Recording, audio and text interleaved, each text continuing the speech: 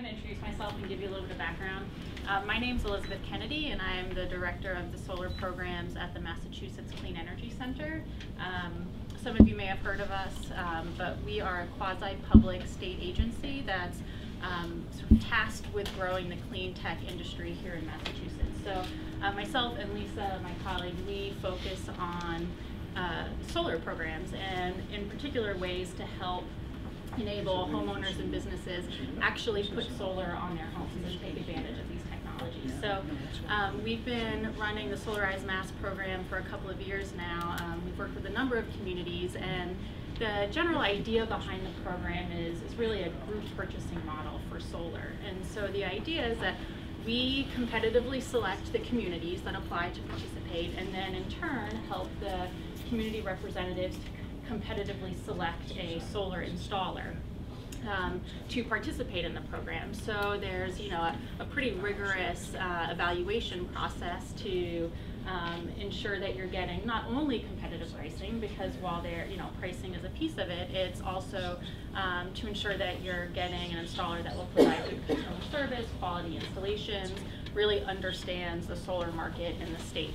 Um, and the idea behind the group purchasing model is that um, as more people in the community um, contract for solar during sort of a, a limited time period, um, the price reduces for everyone. So there is actually incentive to get more people involved because there's a direct financial benefit to you. Um, so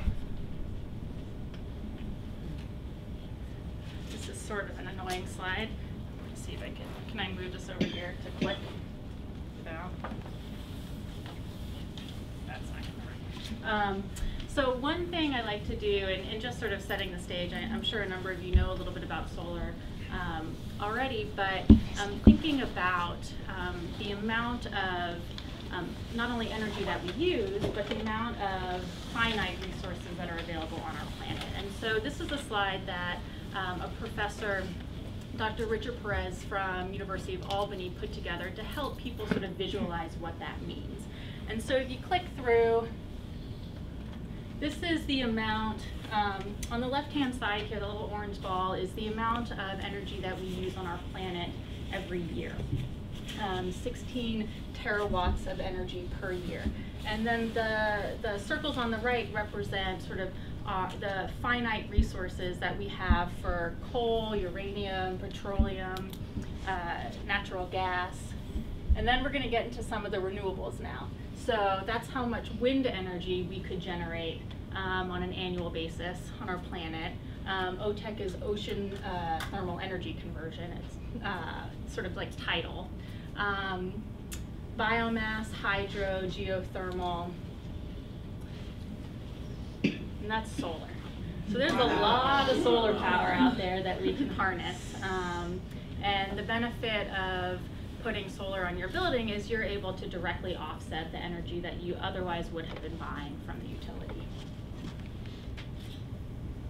we get the, we use this slide a lot because we get this question all the time, you know, particularly after a winter like this when I am just I'm so done with the snow. But um, we get the question, is there enough sun in Massachusetts to actually make these projects economic viable? And the short answer is yes. I mean, we are never going to have as much sun as they have in the desert southwest. You know, you see sort of like the, the reddish yellowish um, uh, amount of sunlight that they're getting. But up in Massachusetts, um, you can see that we're sort of a, a solid middle green, which means that um, you know we, we are getting a decent amount of sunlight. And we, we like making this comparison. Um, the little insert on the bottom right is actually the, the country of Germany, um, which has the um, most solar deployed in the country, and they have a worse solar resource than the state of Alaska. Um, and so, you know, they, they are building an industry around solar and they have a significantly worse solar resource than we do here in Massachusetts. And I do also want to point out that at the Clean Energy Center, we have been collecting solar production data from the thousands of projects that are installed. Um, we've been collecting that data for over 10 years now. We have projects going back to 2002, and we have found that for systems that are well sited um, in the state, that they actually perform, um, you know, very close to what they're estimated to perform at, and they perform very consistently. So, um, you know, we have been able to sort of verify that those well-sited systems do do actually do what people say. Um, so, you know, we have the solar resource here in Massachusetts. The other thing that we have, which is not a positive, is high electricity prices. So we are at what we call the end of the pipeline. We don't produce a lot of energy here in Massachusetts, so we're having to transport it from, you know, the Midwest. Um, we are bringing hydro down from Canada, and the cost of transporting that energy is very expensive. And so um, this data is actually a, a, year out of date. We, we need to update it, but um, for the 2012 data that was available last year, Massachusetts homeowners had the ninth highest electricity prices in the country.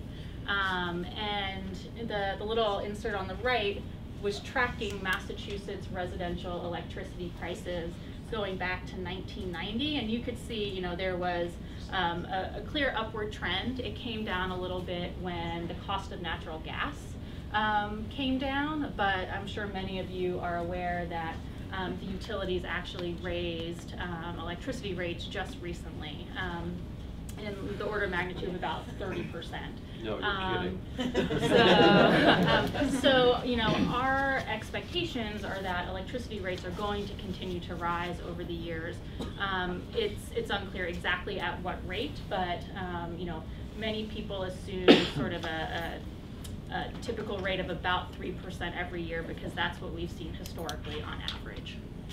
So we have good sun and we have high electricity rates, which means when you install solar, um, if you're purchasing the system, you are essentially prepaying for your electricity for 20 to 30 years of your electricity up front at a highly discounted rate than what you would be paying to the utility. So you then get savings beyond that. We also not only track production data, but we also track um, cost data and installation data for Massachusetts. So um, as of the end of last month, we had over 22,000 uh, solar projects installed in Massachusetts. Um, and you know, not all of them are residential, but quite honestly, majority of them are residential projects. Um, and what this chart shows, the red line reflects um, residential solar costs over time since 2001. We talk about cost on a what, what's referred to as a dollar per watt basis. Um, and you know, you can think about maybe an, an average residential project being 5,000 watts or 5 kilowatts. Um, and so you could see prices were, were um, significantly higher and have come down dramatically um, over time. And as a result of that, the green bar represents the number of residential projects um, that have uh, been installed in Massachusetts under our rebate programs that we've had in the past. And so it makes sense that as prices came down, the number of projects uh, increased significantly. and so I mentioned the you know 22,000 projects installed in Massachusetts. Um, this was a this reflects what uh, Massachusetts looked like in 2006. All the little yellow dots represent solar installations in the state, and this is what the map looks like at the end of 2014. Wow. So we've seen, yes, no, we're very excited. So, um, so we've really seen an explosion of uh, solar um, in the state, and, and it's you know geographically dispersed throughout the state. Um, the benefit of these solarized programs is that we can really engage with the community and try and increase education and outreach because, um, you know, most people, because they don't live and breathe solar every day like we do, don't, you know, aren't aware that prices have come down so much um, over the last couple of years. And, you know, even if you looked into it a couple of years ago and it didn't make financial sense, it, it may actually now. So thinking about the incentives that are available in Massachusetts, there, there are a couple to be aware of. Um, first of all, there is there's both a federal and a state tax incentive that's available.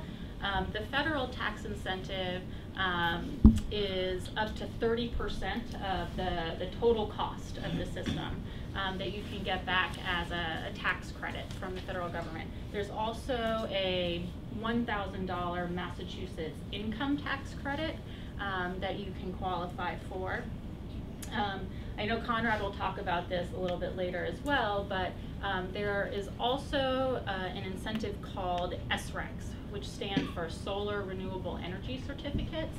And what those mean is when you install a solar project, for every 1,000 kilowatt hours uh, that you produce, but just think about it as, as a, a portion of energy that you produce, um, the state will mint a certificate for you that you can sell on, on a Massachusetts market because there's regulations in place that require the utilities to buy these certificates. And the certificates essentially represent the, the greenness of the energy that you're producing. Um, so by generating and selling these SRECs, you can not only get the tax credits, but get an income stream on, on top of the electricity savings that you're experiencing. Um, typically, homeowners, is not always the case, but I would say typically homeowners work with uh, what we call SREC aggregators or brokers, which are uh, companies that will help you to sell your SRECs. Um, and, and that way you're not having to sort of manage that on your own. There's also a benefit called net metering, which means that if you install a system and it starts generating electricity, if you're using electricity on, you know, in your home at that uh, point in time, the electricity that you're producing will go to meet, you know, the demand that you have in your home. But let's say it's a really nice sunny day and you're not home, you're not really using any electricity, your system's still cranking out uh, electrons. And so what ends up happening is that electricity goes through what's called a net meter, uh, which is the utility meter, and it, and it actually spins backwards. And the utility um, will keep track of that, and they will give you a credit on your um, next billing cycle of all of the excess electricity that you produced but did not actually use. So it's a way to almost use the um, utility, uh, the grid, as a bank that you can sort of store your excess electricity on this grid, get a credit for it um, on your electricity bill, even if you didn't use it at that given point in time. I'm not going to talk too much about it, um, but I do just want to mention very briefly that um, Lisa and I at, at the state are working with the Mass Department of Energy Resources on a loan program for homeowners that are interested in installing solar. Um, the reason I don't want to talk about it too, mon- too much is that um, in, in all likelihood the program um, is not going to really be up and running until early summer. So it's, um, it's sort of questionable in terms of the timing, but I'd be happy to talk uh, in more detail about it. Um, I could also let you know we are very much plugged in with the communities and the installers, so as soon as there is more information uh, up and running about the program, we will be sure to let you know. Um, but we're working with banks and credit unions around the state to try and get them signed up and interested in participating in this. And then finally, the other thing, it, it's not really an incentive, but the other thing that I wanted to mention is, you know, traditionally people think about um, installing solar and they think about, uh, you know, purchasing the system, installing it on their roof, and owning that system. Um, and, and that makes sense for a lot of people, but um, sometimes you don't necessarily have uh, the capital up front to make that investment, or quite frankly, don't want to make that investment. And so there is another ownership model which we call third-party ownership, um, which can be in the form of either a lease or a power purchase agreement. You might hear that term, which is basically when a third party actually owns the system, installs it on your roof, and then will sell you the electricity that it generates at a discounted rate relative to what you would pay to the utility.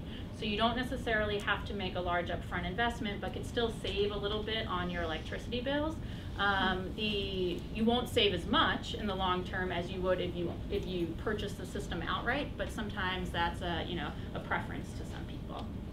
So that's another option.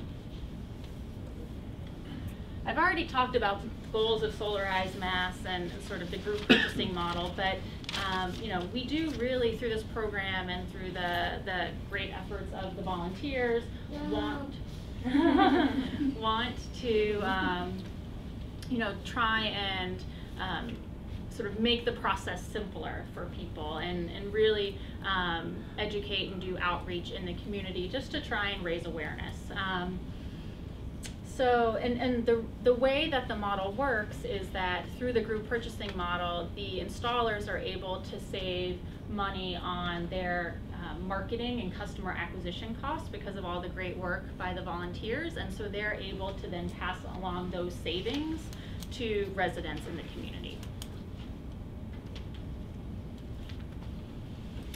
Um, very quickly, this is sort of a cluttered slide, but just to sort of think about the roles of the different parties in the program. So um, the Mass Clean Energy Center and our partners on this program, the Department of Energy Resources, you know, we were involved in sort of getting a lot of the, the, the upfront work, getting the program up and running.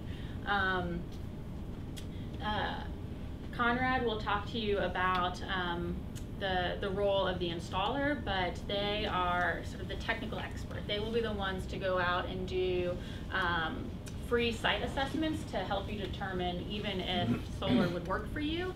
And then if, if it would and you're interested in moving forward, they will help you with that process. Um, they are providing the, the tiered pricing, which means as more people contract, uh, the price reduces for everyone. Um, and they'll provide what's called a turnkey contract. So everything from you know initial feasibility and design of the system all the way through um, you know installation, making sure all the warranties are in place and things like that. Um, the the community, um, Austin and, and the volunteers, you know they're they're really focused on getting the word out, doing outreach. So I I don't want to speak for them, but I would assume that they would appreciate any help that they could get if, if others were interested in, uh, in participating in that. Um, and then so you, your, your job is really, if you're interested, just sign up. And I know there are a couple of new people that walked in, so um, there were little uh, sign up uh, squares if you are interested in signing up for a free site assessment. So under this round of Solarize Mass, we're working with five communities, um, Provincetown, Quincy, and then three communities out in Western Mass, uh, Plainfield, Ashfield, and Buckland. Uh, those three communities partnered together. Um, this is the tiered pricing that I mentioned. So it's, it's based on total uh, solar capacity. The, the tiers are based on solar capacity, but we sort of equated them to like typical residential systems. So the first tier that you're in, it's the first, say, five homeowners that sign up, and then the sixth homeowner will put them into the next tier, um, and so on. Um, but the program is a limited time program, so it, it currently, it, it's only running through June 30th of 2015, and, and that's sort of part of the idea of the program is that you know, this is a competitive price that the installer is willing to offer.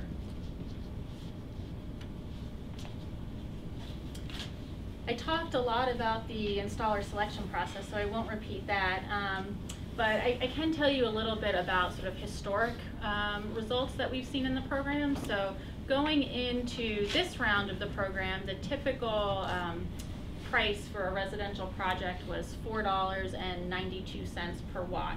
Um, we can tell you based on prior rounds of the program that the average customer purchasing a system um, ends up saving anywhere from 18 to 20 percent off of the market price. So, so there are significant savings that can be that can be had. Um, and then, but both direct purchase and sort of a, a third-party ownership of a PPA or lease would be available. The other thing I do want to mention is just sort of the, the vetting process in, in selecting the installer. We do want to ensure that it is an experienced installer that you're working with, and we, we have minimum technical requirements that they need to meet. So it's ensuring that there are equipment warranties. Um, so all the panels need to have at minimum a 20-year production warranty. Um, the inverter needs to have a 10-year warranty, and the installer would provide you with a five-year workmanship warranty. So if there was anything that happened in that first five years, um, you know, you would be able to work with them on that. Um, there is no, um, there is no requirement that the system, you know, be a well-producing system. Um, but I can tell you the, with these guys, um, you know, uh, they're working with you. If the system's not producing well, the numbers don't pencil out. So they are going to, to work with you to ensure that if you move forward, you're, you have a, a well-producing system. This also just re reiterates the exciting results that we see under the program. So these are the 46 prior communities that we have worked with uh, over the last couple of years. You don't have to you don't have to read it. It's just vi visually what this shows is that the, the red portion of the bars represent the number of small scale projects that existed in those communities before Solarize occurred. So this is going back in time for, you know, all time. um, and then the blue portion of the bars represent the number of residential projects that contracted just under their six-month Solarize campaign. So many communities more than doubled the amount of residential solar that they had just by participating in Solarize. And then this is the starting line. So for the five communities that we're working with this round, this is sort of where you stand right now in terms of the number of residential projects uh, currently, uh, currently in your town.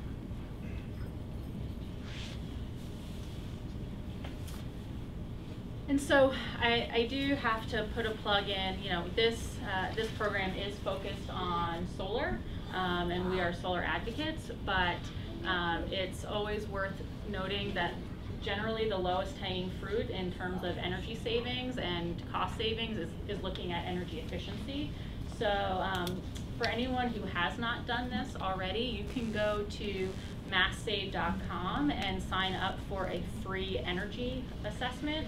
Um, the, someone will come out and provide recommendations on what you can do um, to, to save money on, uh, on efficiency. And even if you have done one, you can get a free one every year. So if you did one a couple of years ago, you, you're more than welcome to, to get another one. Yep. Is that the same as Cape, the, the Cape Light Compact? Is that the? Yes, Is there yes, Cape Light the same? yes. Okay. Mm-hmm. Yep. Just making sure. Right there. So with that, thank you very much. I know now you probably want to hear the, the meat of what the, in, the three installation companies are, are offering, but I appreciate your time and thank you so much for coming out.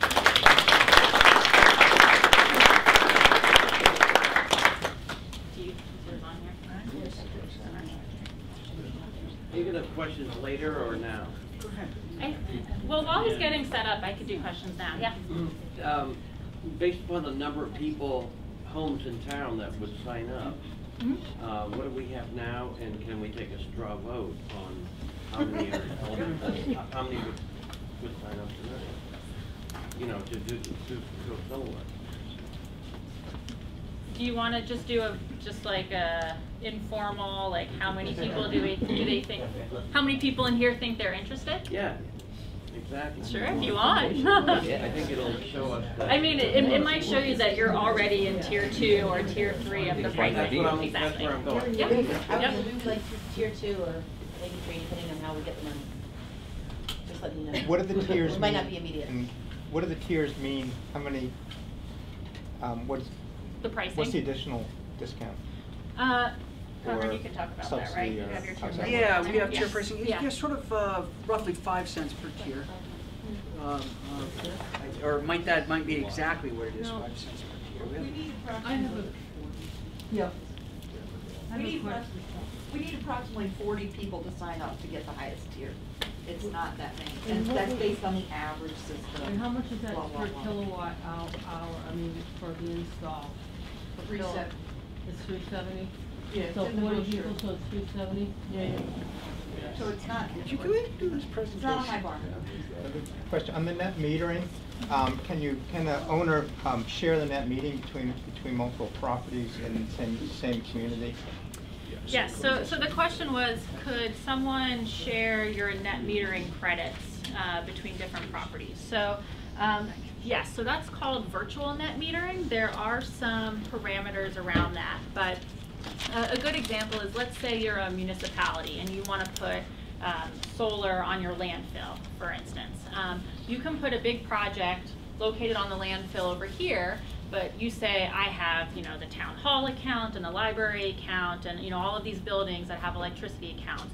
You can technically, um, say, I want X percentage of the net metering credits to go to this account, X percentage to go to that account. Um, so the, the same thing could happen on the residential scale, but you would just have to be within the same utility and the same load zone. And so what does it mean by, last time I looked at this, it was, which was probably ten years ago, it was vaguely defined as neighborhood. And I don't know that, I think it was, has there been clarification of that now. since? Yeah, yeah. And what is the region that you can share it within between multiple properties? It, um, it's the, so the same utility, and then it, there's, it's technically the same load zone, so the, the grid load zones, and there are three of them in Massachusetts, and they, they essentially break up the state into thirds.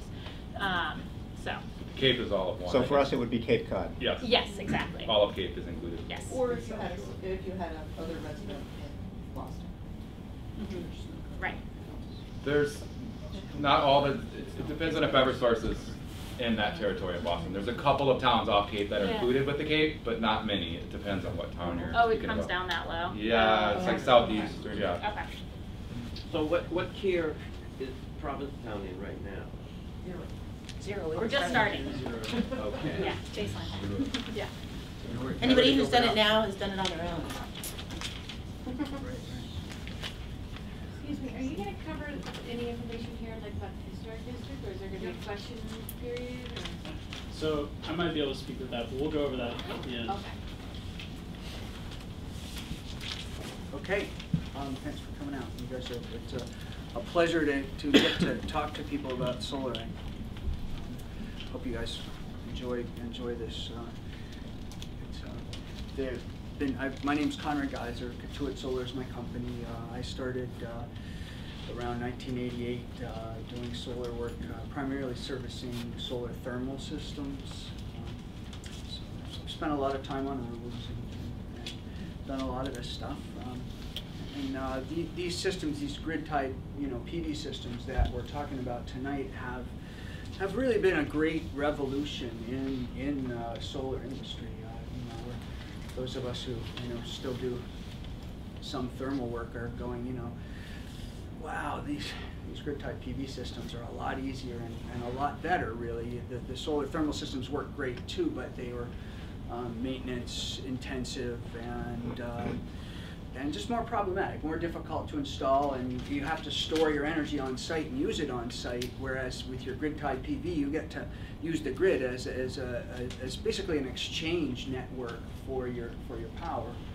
So it's really, it's really been fantastic, and, and we're in the midst of um, hopefully changing the utility model from what has always been traditionally a generation top-down sell you power um, model to a, a shared, you know, power model where we're all collectively, you know, putting electricity in and taking electricity back out of the grid. And, and that's a that's a bit of a problem for the utilities. Um, and they're struggling. That that struggle is going on as we speak at a fairly intense, you know, level across the country. And and this is this is just a small, you know, a small part of that.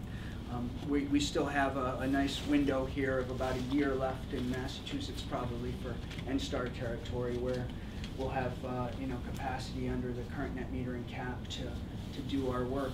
Um, and most residential systems hopefully will stay eligible even beyond that cap. We'll, we'll see how that goes. But any, anyhow, this is, this has been very exciting, very, uh, very fast-paced uh, last six years um, as, as this pro, as these things have moved forward. That's sort of a duplicate of Elizabeth's slide earlier that there's just a, an incredible resource there. Um, if we could manage to harness it and store it and use it, we'd have uh, um, way more energy. Sorry, there used to be a slide after that one. Uh, something like 8,000 times the amount of energy that we really need. Uh, of course, you know, harvesting and, and using all that is, is the problem, and that's where the three of us come in. And I believe I should spend a little more time speaking about the three of us. This is me, Cotuit Solar. Jason on, on the right in the blue shirt is E2. And Mike is Blue Selenium over there, and, and we've, we've partnered together to do this. This is our second time that all three of us have partnered together. Uh, we did Solarize Wellfleet, um, which we're just wrapping up, which was a phenomenal success. Um, tho- those, that town's a tough town you know, to beat. I, I, you guys are up against a big challenge here, but I. We always beat Wellfleet. That's right. You name it, we beat 'em. That's what we want to do. This is all about competition. I like it. Yeah. Very good. To bring it. Great, awesome. That's what, that's what, that's what we're here for. Um, so we try to move through the, probably everybody here is already levelized cost of energy, you know, solar is, the cost is coming down. Your solar range is here, crystalline rooftop. Um, your, your various other sources uh, below, below the line are fossil fuel sources uh, are here. So you can see that the further to the left you are, the closer, the cheaper you are. And, and solar is, is rapidly approaching what they call grid parity, where incentives won't be necessary to be competitive. And, and in some cases, Hawaii, for instance, it's, it's already there. Hawaii's utility without prodding from the government or any um, incentive programs has already planned to go 100% solar by, I, I think it's 2040. They're, they're just the nature of Hawaii, you know, it's an island, it's hard to get fossil fuels, and the sun, the solar resource is fantastic there. You know, it's, it's already there. They don't need um, any, any help. And, and we're rapidly getting there in Massachusetts. Fuel prices going up, yes, we know this, um, except for when the OPEC nations decide they want to try to, you know, work on us a little bit and drive them down temporarily and make us all forget that actually we have an energy addiction problem, a fossil fuel energy addiction problem. Um, incentives, this is an ancient slide, I'm sorry, you know, but I keep it in here. Uh, the, the, psychological effect, you know, is of, of the fact that we're sort of living this life that is essentially destined to run into a brick wall, you know, completely dependent on fossil fuels for everything that we do, is, is a problem. That hurts, you know, that when you wake up every morning, you think of that, that's not great.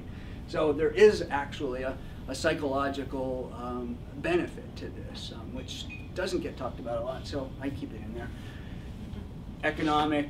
These are deep energy retrofits is another thing that you know we're we think about some where all our buildings are way way too leaky if we're going to continue to condition the space. Um, but the economics aren't great. 12 to 20 year payback. We talk about paybacks a lot. I'm, I'm sorry, it's it's you know some people don't want to hear about paybacks. They think you know, well, what about the payback to, for climate change and all that? That's you either get that or you don't. I, I, I can't, you know, instill that in you tonight. So presumably you've already gotten that, and that's why you're here.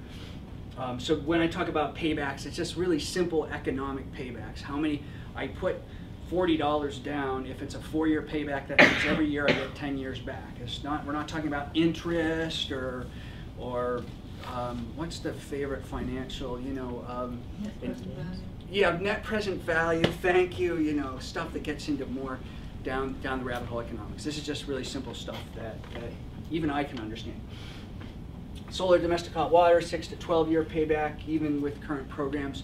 Just a rougher go than your PV, which is what we're talking about, four to seven year paybacks, and you'll see that if we hit tier five, that, you know, in your best case scenario, you're gonna have a four year, four year payback on your, on your system.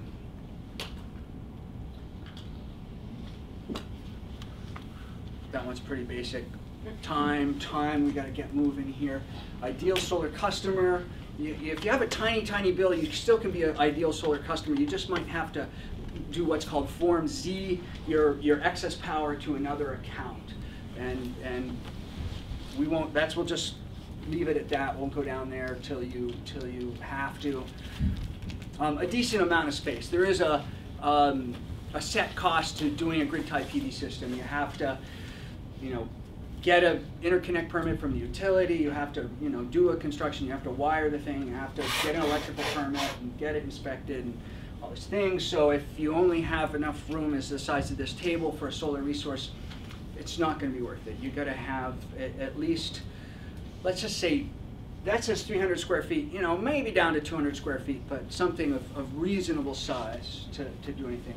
Southerly exposure, preferably. Flat's actually okay. There's a fair amount of flat roofs in P-Town, um, so that that's a that's a good bet. Um, and shading is, is an issue too. You can't, not so many trees. So I don't think we're going to run into a lot of shading, but and but uh, historic district we might run into some. We'll see.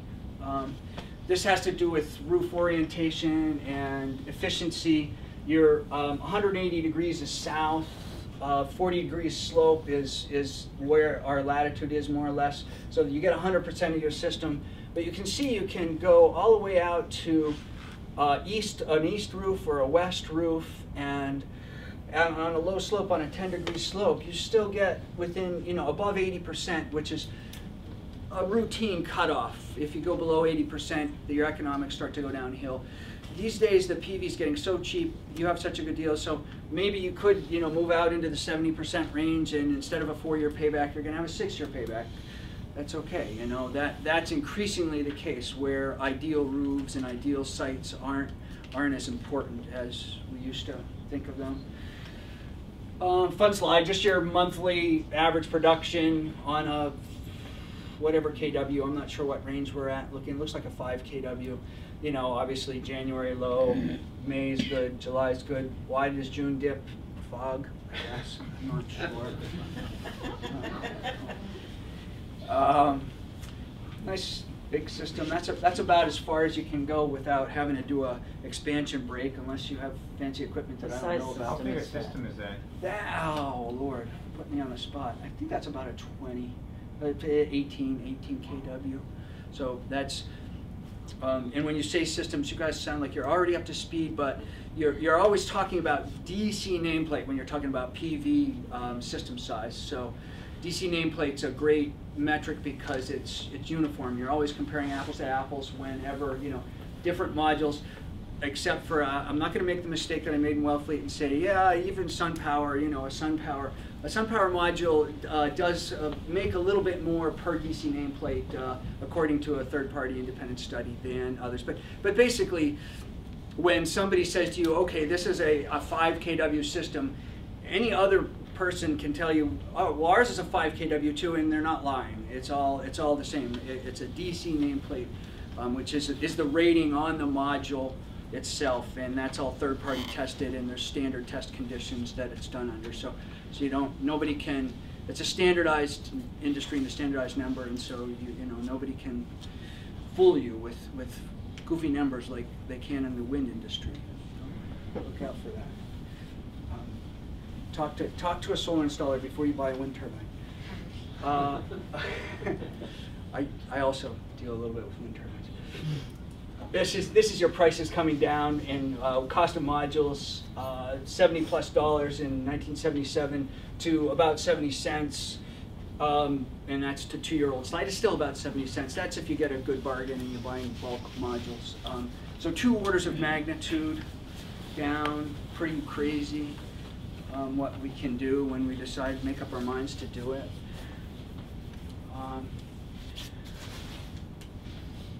grid tied PV, I'll have that down, understand what we're doing. We're running into the grid and running meter backwards. Standard modules, SunPower modules are uh, um, something that, that Jason and Mike deal with. Uh, Cotuit Solar doesn't. Uh, they're a higher output module, special, uh, slightly different uh, technology. They're still crystal and silicone, so they're they're they're basically the same, but they do some. They have some tricks where they they squeeze uh, about a 20% efficiency out, a little bit more, 20.1 efficiency, as opposed to an 18% efficiency for standard standard modules. So if you have a, a site that is space constrained and you are really gung-ho to get the most out of that space, you might want to look at a SunPower module. It's, it's a significantly higher cost, but uh, also a, you know, a good out, output.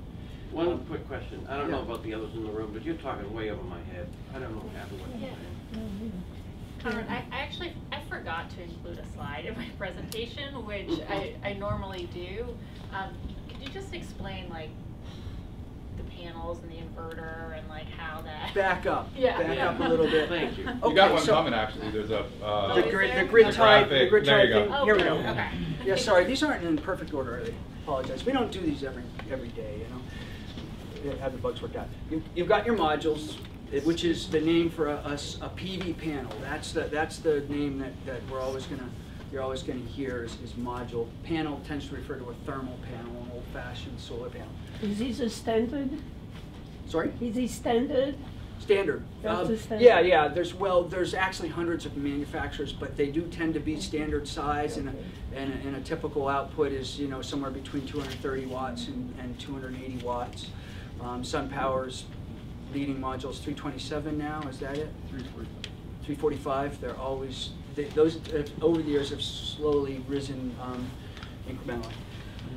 Makes DC power, um, and this is actually, this is a good representation of what happens, although it's, the diagram's slightly different these days because we're using microinverters more often than not. What's the micro? Right. Small Um, one. Well, let- well, let's, let's go through the macro inverter first, the string inverter. So these are all wired together. They go into a, a thing called an inverter, which is just monitoring the electrical grid, which is AC electricity. Um, and it's, it's uh, checking the voltage and the frequency, and, it- and it is transforming this DC electricity to match the AC grid and, and pushing it back out. It's basically um, increasing the, the voltage and maybe the frequency a little bit, so, so it's actually pushing your NSTAR meter backwards. Actually, NSTAR meter. This is your production meter that reads all the power that you produce goes through your production meter. So you get a production meter and you know exactly what your system, this is a revenue grade meter and you know exactly what your system's producing. It goes into your, your main panel typically um, where it pushes the electricity back out when you're producing more than you're, than you're using.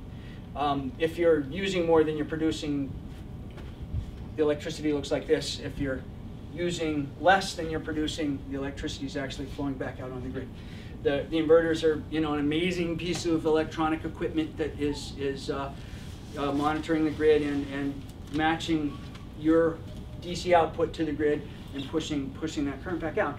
It's also shutting down if it sees anything wrong with the grid. Any, anything that's five, the voltage or frequency is more than 5% out of parameter, it shuts down within 20 milliseconds, and that's just a safety feature that prevents any problems from happening to any linemen or anybody working on the grid outside.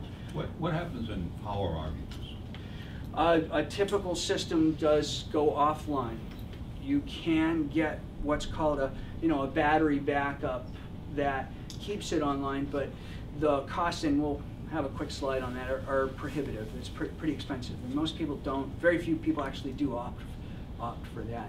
Um, there's one exception where SMA is the one. It's one of the leading, if not the leading, worldwide inverter manufacturer has a a plug that is called, they, their acronym is SPS, Secure Power Supply, that works a little bit while the sun's out with no batteries. Um, if the power's off, you have to switch something over. It's very simple. Um, but generally speaking, you don't have the use of your system when the power's out unless you buy additional equipment. Oh, microinverter. Microinverter, do you want to go to do microinverters? Let's go straight to Oh, microinverters. just- Thanks, yeah. you were gonna say. There's a new code, uh, 2014 electrical code. We're uh, um, lucky here in Massachusetts to be the only state in the country that adopts the, the code the year that it's published. So we're the guinea pigs for what's called rapid shutdown. And um, it basically says this section of wiring between your DC modules and your inverter must be shut down to below some number of volts in 30 seconds. I think it's 12 or 15 volts.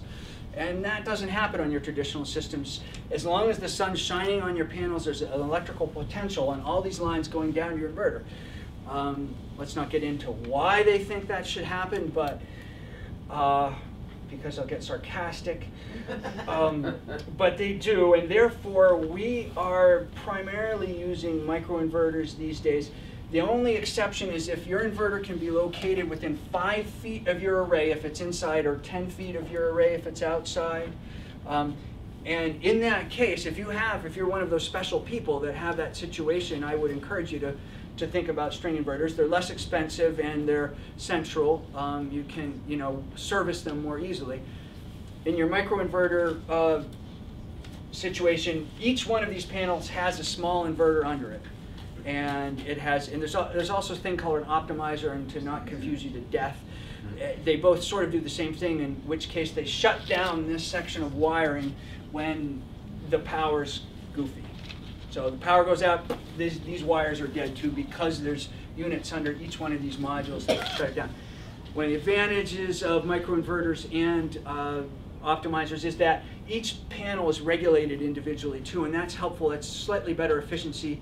And if you have partial shading on your roof where, uh, you know, say a tree branch or a light pole or something sends a shadow across the roof over the course of the day, you'll get a better, you'll get better performance. Move, move it along. So what you're telling me then, the panels have inverters built into them, and the wiring coming off that panels is not DC, it's AC. That's right. In the case of microinverters, that's right. In the case of DC optimizers, it is still DC, but it's controlled, a controlled DC. It can be shut off at the source. is the issue. Yeah, Okay. yeah. Thank you for, that. you're with me, now you love that. I am too, I just don't wanna say anything. Um, Okay, so since everybody got all that and they're really ready to go, we can just make this the last slide, sign up, call the number. Have a great night, thanks. Just kidding. Are you done?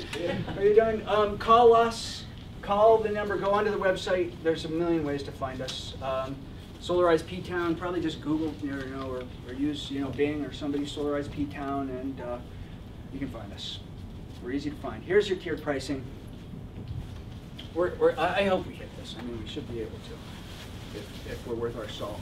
Um, 370 a watt, comes down five cents each, each tier. Um, On that per watt, that's, that's at per watt pricing, and that per watt's that same DC nameplate watt, so we're talking apples to apples. Um, things that might drive your prices up. We call them adders in, in uh, solar speak. Um, adder and price adders. So adders is a bad word. You don't want to hear adders if you can. Avoid hearing them. Historic district, we're going to run into that. Um, double inspection, I don't think we're going to run into. I think the, the uh, wiring inspector, if he continues to be as, as workable as he has been in, in Provincetown, won't be an issue. Metal flashing, another another add add good cost. Enphase is the microinverter, and so most of our systems are probably going to have that. That's our that's our go-to microinverter. Solar Edge is the DC to DC version of that.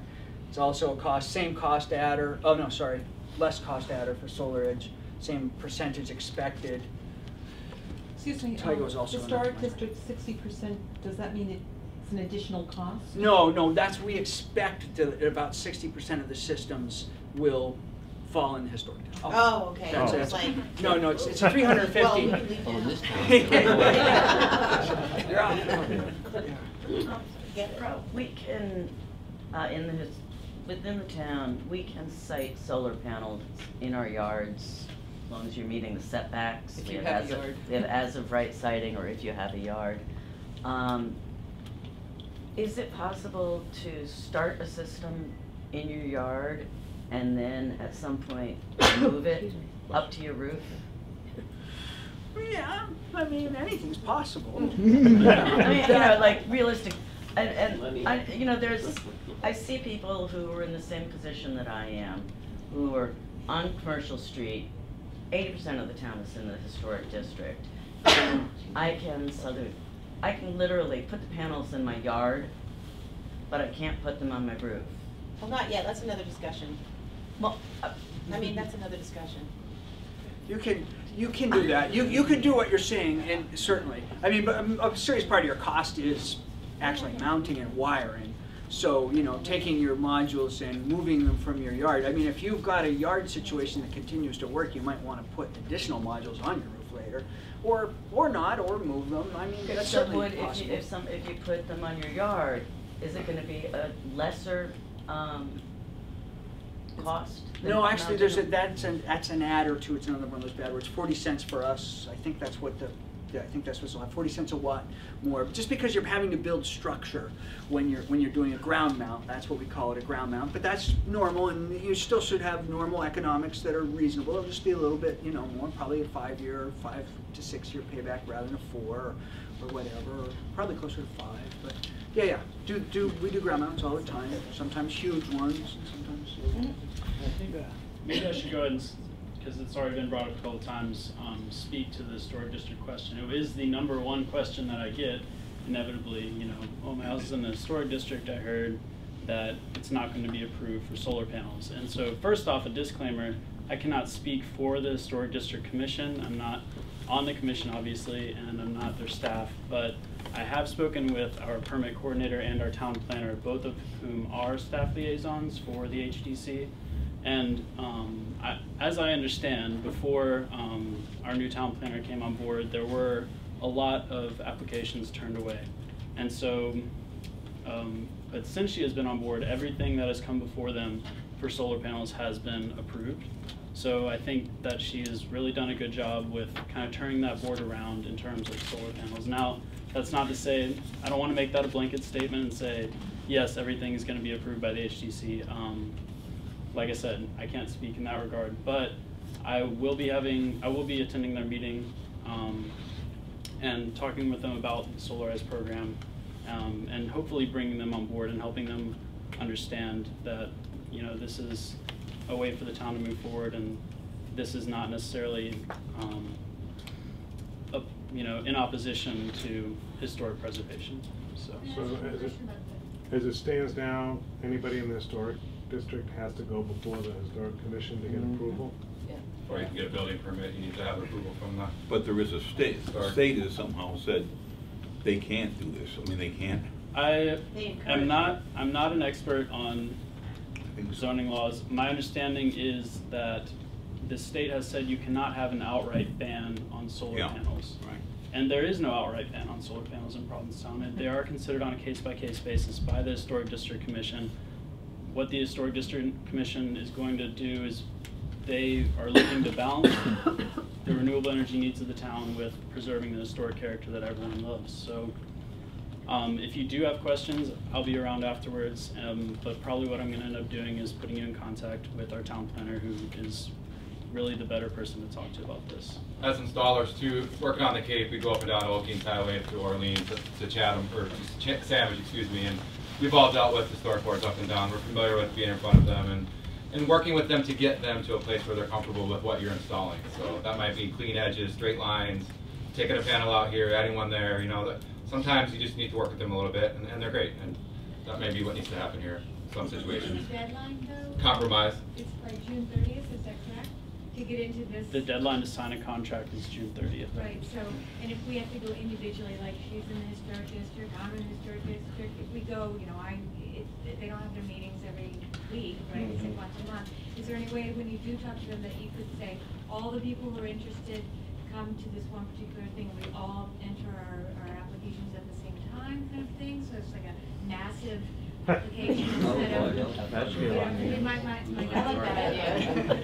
I had to speak to them, they would not want to do that, because they want to look at you all individually, case by case basis, and take time to review those things. I would say that they would do that, but there I a don't know lot for of sure. special meetings Yeah. just for that, so that I come in with my application, you go on first, y'all, right? We have to turn uh, the paperwork into the historic district a month before they meet too, so.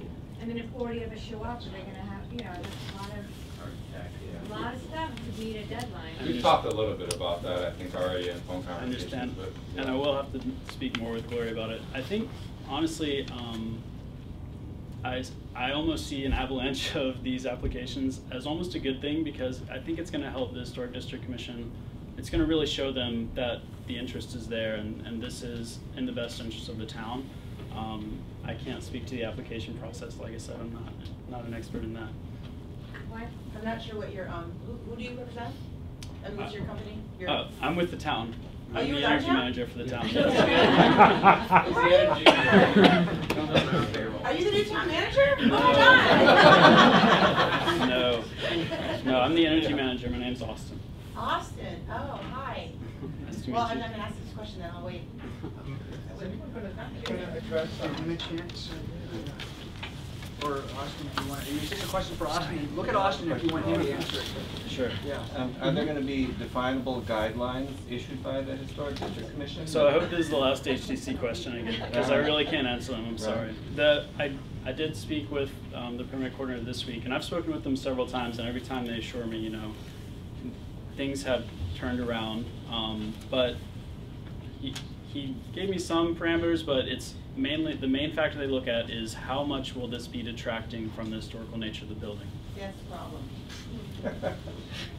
But you know, if we had these rules in effect when we all started having air conditioners, there wouldn't be one in any window. Very They good. wouldn't have been allowed. Skylights or Skylights, satellites or. Is the list goes on, HVAC question? No. Good, all right. Yeah.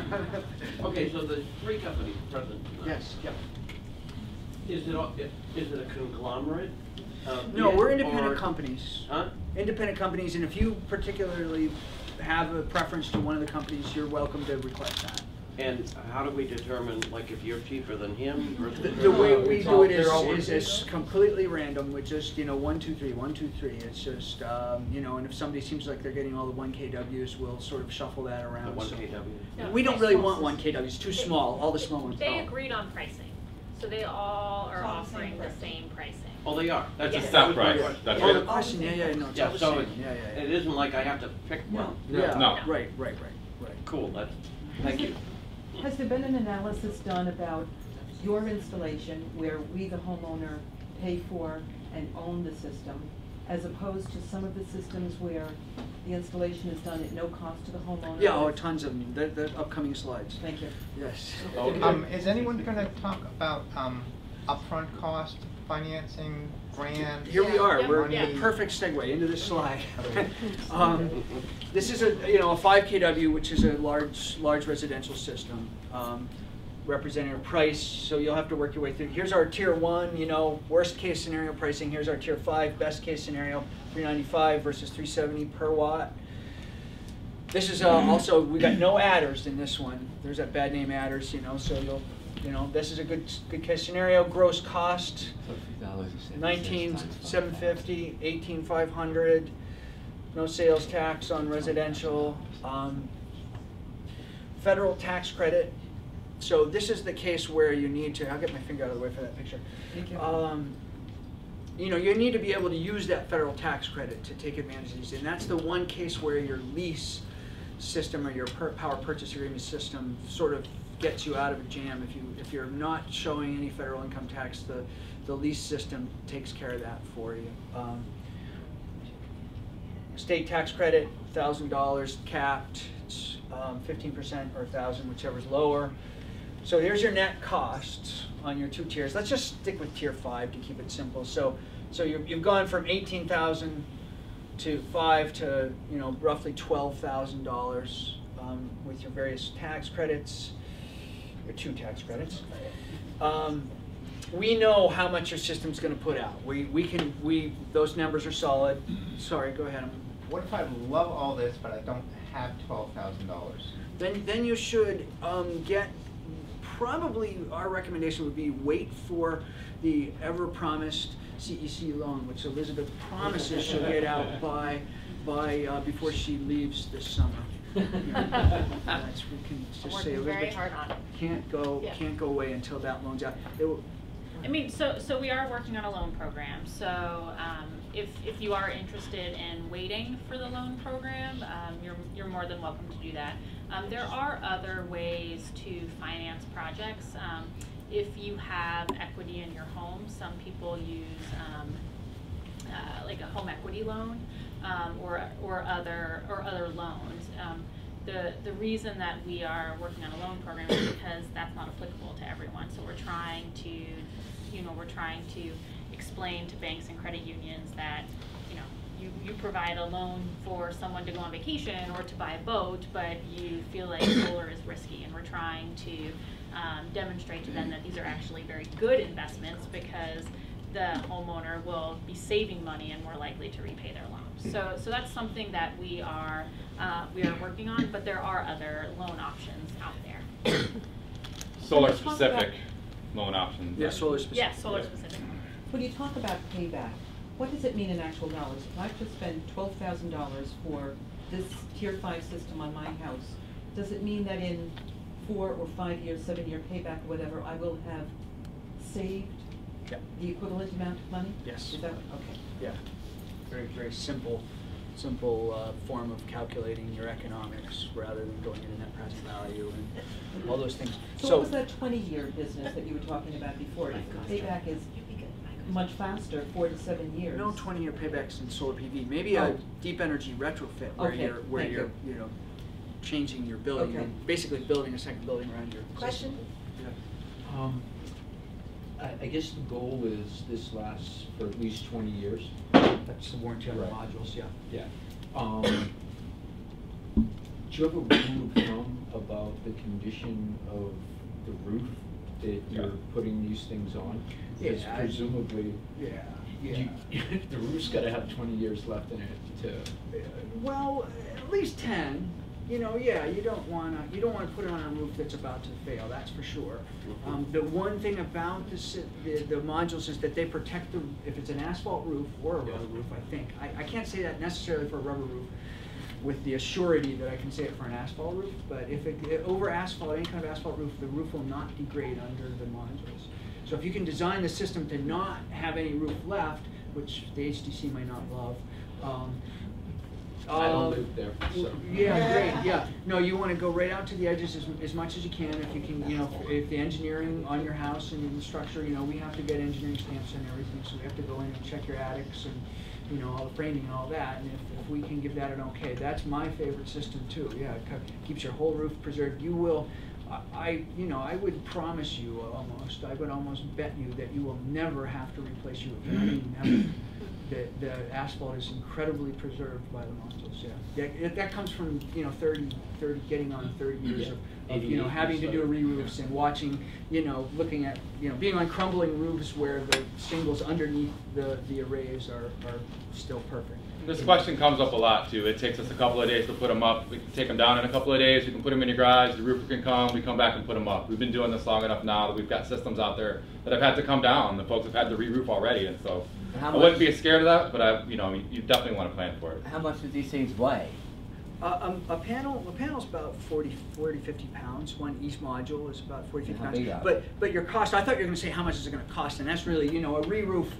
You No, know, so maybe roughly about a thousand bucks. I'm bucks. worried about lo- roof load. Oh, roof loads, it's a two and a half pounds per square foot. Um, it's not Okay. that significant in your, All right. you know, everything now for code is, uh, thirty-five pounds per square Mhm. foot. uh, It's know. less than the layer of asphalt shingles you have on your roof now. Well, Yeah. I mean, most of the houses here in Provincetown are, uh, you know, eighteenth, nineteenth century Yep. buildings, and they were, you know, and most, mostly post and beam. Yeah. So they're not like, uh, modern construction. It'll help No. the house down. And then part of the process of site visit, we figure these kinds of things out. We're going to determine whether or not your roof needs any extra framing or if it can even be done. Mm. Uh, if it's not traditional framing, conventional that is, two bys, rafters, it's something else, then it's going to get engineered professionally by a professional engineer um, before we get a permit. So, Okay. yep. And do you not like uh, wooden shingles? Wooden shingles aren't perfect, I mean. The newer the better. go on 'em. Yeah, the asphalt, what's, sorry, go ahead. The newer the better.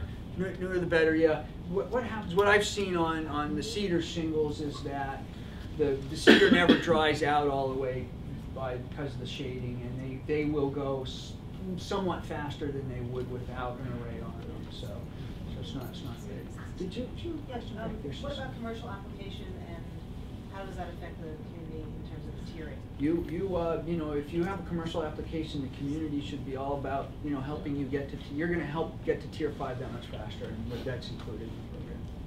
And then I just follow up on that. In terms of the materials that all three uh, vendors are using, are you all using the same materials, same panels?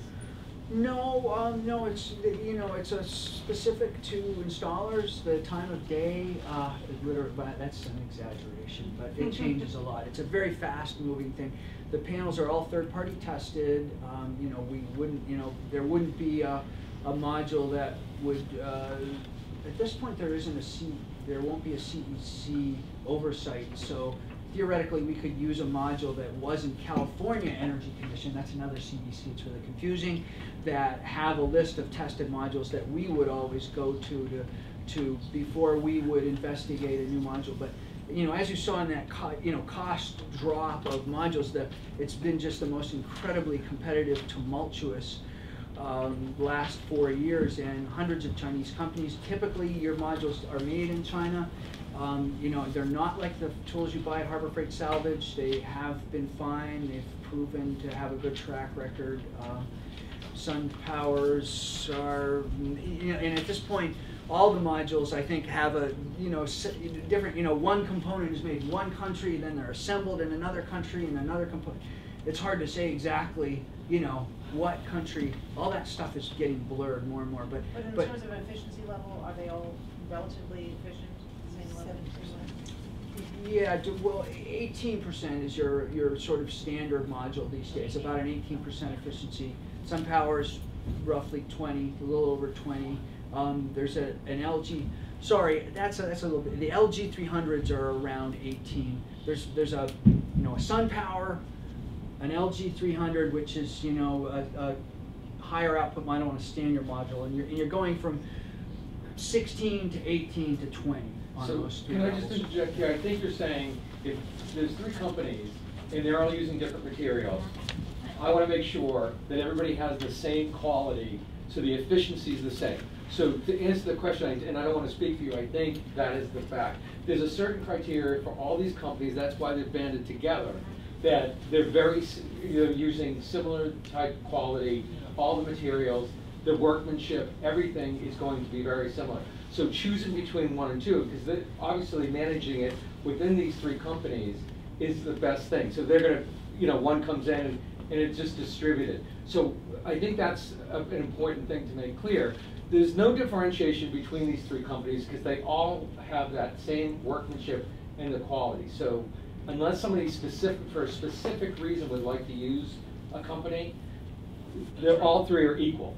And I'd like to add that we did have to submit, as part of the program, a list of the components that we would be working with, and they were all approved through Mass CEC. Um, They had a technical consultant look at everything that was submitted, so we are working from the same list of, of components. And just because we're, we're, we're, it's about quarter of eight, we have fifteen minutes before the library closes. I think trying to finish whatever vital material that we Should I build have- on that too? If you are interested in a site visit, someone eventually is coming out to your house, and so I would not get hung up with every number on that. Someone's gonna sit Right. down at your table with you and go over them all, So number by number, and so you'll get a better chance to dig into that. It's a lot to look at in one night. Doug? Oh. Just a minute, Doug. Um, you can see the cash flow. This is, you know, you go even somewhere between year four and five and at year 25. And this is with a, a, a consistent energy cost. This is a fixed energy cost, which I think is probably not going to be the case. So probably this is going to go like that. Much, this is cash positive, this is cash negative. Yeah. Really fantastic, amazing, economically attractive uh, thing as well as the other aspects. I know that it's, you have to go really fast, but I know y'all do sol- solar shingles, right? No. We are not promoting those, no. Okay. No. Well, I asked the- Yeah, that's a, another How about a question. solar farm? Is there, do you, Well, P-Town hasn't really got a lot of square footage kicking around. That's what you mean when, you know, solar farm implies, uh, you know, a lot of land that you're covering. with- and we can't buy from other Cape towns that have solar farms? Yes, yes, you, you, you might be able to in the coming years. You have, I, I, talk to Austin. Yeah, Talk to Austin. He's gonna, he's gonna, he's gonna leverage the town of P-Town, the best rate you can get for, off of a solar farm. That's his job. Because, um, we have a June thirtieth contract deadline, and we have to go through, many of us have to go through HDC. We're really backing up into not having a lot of time. We can to write Sit down. a contract get contingent on HDC. You don't have to be get installed by In fact, 30th. we wouldn't You want to go before the HDC until you have a contract. Yeah, but you just But need to sign a que- can I contract get my before question out? the thirtieth, you don't have to oh, install. My- My question is, Yeah. how quickly do you anticipate the, the assessments getting done? June thirtieth. Oh, yeah, we're, we're, we're, we're not gonna slow you down much on that. We really prefer that if you jumped, in other words, when you call us and you go through the numbers, we give you a preliminary site evaluation uh, from our desktop. A desktop, except Mike won't, he'll probably come right out to your site. Um, um, You're gonna look at those numbers, you're gonna say, yeah, I can live with that, or no, I don't wanna do that. You know, we want you to give it a, a good evaluation before you waste your time and our time. You know, and if those, if you, what you see on that preliminary evaluation is, is acceptable to you, we'll be out within a week. give us two if we're really busy. so Try to, I've try to do it before June. I put, well, okay, this is what I'm getting at. Yeah. Put in a piece of paper. Yeah. Can I get my assessment next week? Yep. Yeah. Yeah, Yep. that's what I, you know, that's what I'm looking. Sooner for the better, myself sooner the and better. I think many people who are considering this don't realize How quickly it little, can- well, how little time we have, given And I what you guess- need to look at. I guess we only have ten minutes left before we get kicked out. Too. Right, So it just, but just everybody is an important thing, that's why, if everybody signs up, these three companies, that's why we, we, they're banded together, so the volume that we're gonna be able to do in the short amount of time that's necessary, that's why we have the ability to do a lot of assessments and installations in a short period, or at least the assessments, and then eventually the installations. So as soon as you fill out something else out, you're gonna, we're gonna put all that information down, and you're gonna get contact within, within a within a week. We have a year to install these systems, so Right. as long as you sign a contract by the thirtieth, we could do HDC this fall or the next winter or whatever, you have a year, you have twelve months to. That, that example that you did before of the pricing, that was for like the biggest project, is that correct? No, that's a standard full-size residential, five hundred, that's about, that's about four hundred square feet. Last question, um, for me. Will this slide, uh, this slideshow that you put on, will they be available online Yes. to us? Yep. So we So- can look at all the information Yep. at home? Yep, yep. Yeah. And we're gonna, we're put it on the website as well. Which website? Solarize Mass Uh, website? no, Solarize- SolarizeProvincetown.org. Dot org, okay. It's on the brochure as well. so, Um, so I think we'll go ahead and wrap unless you have anything else. Zoom Conrad? through lease, anybody here thinking about leases, we said, uh, somebody, there was a thought that we were gonna get a lot of lease questions. Um, if you can't use the tax credit, the lease is probably something you wanna look at. Other than that, we don't particularly like leases. We don't think they give you the best bang for your buck, and they run us through a heck of a lot of What's the, um, junk. the difference in savings? You, um, oh gosh, that gets complicated, but you do better financially owning your system as long as the SREC market holds up, and I think we're pretty sure the SREC market's gonna hold up, and that's one of, one of the bigger challenges that everybody here will face is understanding SRECs and the SREC market. Yeah, I think the CEC did an analysis that buying a system is ten times more More effective. beneficial to the homeowner. Right. It's good. Solar loans, we sort of already covered that. Lease, one thing that you really want to look at is uh, when you go to sell your home, if you have leased a system, there may be issues. Let's not talk more about that, but just keep your eyes open for that. Um, Most of the solarized Wellfleet were ownership, not leases. So that's all the, you know, leases are not our favorite option. There are only a few have to do it. Uh, SRECs, I don't think we really want to go down the rabbit hole too far on SRECs. Does anybody understand, does anybody want to talk about SRECs at We, all? we, we touched upon it earlier, and I think. Okay, all right. It's a, it's a market thing that goes up and down. It's not a guarantee. Um, The market prices have been fairly stable. They used to be woo-hoo, now they're down there. We can talk about that, but um, we don't really have time. That's one of our favorite installations there. Oh, that's up Ten at Pete's, 10 Ten Pete's house, yeah. You guys did that? Yeah. Yay. The flagship, that's the old flagship. Um, Okay, that's it. So. Yay. I have another Thank you very much. Jason, Just one more thing, for everybody who might be doing like caretaking for folks who aren't here yet, or you know somebody who's coming in a month from now or something, you might just mention this program to them and just include them in. If they're not here in, in Provincetown yet, they might not know about Solarize quite yet, so. The important thing is, if, just please make sure that you sign up, and you can go on the list, and people will contact you, one of the companies will contact you, and do, uh, an, uh, an assessment, and from there, it should be, go quickly. And any of us are able for questions, we're gonna be around town, we're gonna do lo- local coffee houses and get a couple people. know about that? So we're gonna have, uh, Saturday, we're gonna be at, uh, the Year Rounders, and we're gonna do events like that, and we're gonna put it on the website, any events that we do. All right? Thank you for all for coming.